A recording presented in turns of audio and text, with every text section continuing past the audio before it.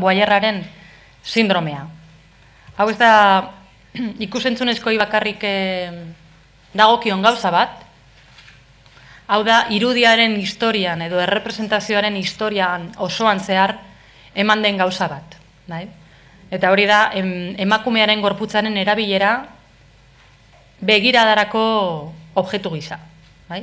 Hau gauza jakina da, artearen historian aplastantea da kontua, bai? zenbatetan irudikatu den emakume biluziaren gorputza eta gainera begiradari, begiradari emana dagoen emakume hori, ze begiratzen zaitu, ez? emakume hauek begiratzen gaituzte, eta esaten dute bai, begiratu, bai? beren baimena ematen digute, beraien begiradaren bitartez, e, ikusiak izateko. Bai?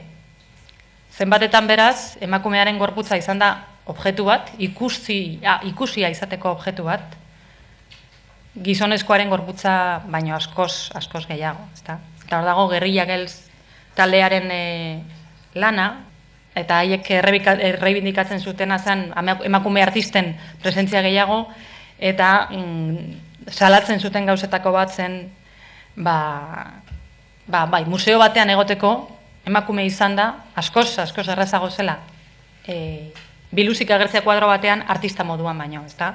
Eta esaten zuten, kasu honetan, Metropolitan Museum horretan New Yorken, euneko bosta bakarrik zela emakumea, artisten artean, eta aldiz, e, biluzien artean euneko laro bosta zen emakumezkoena.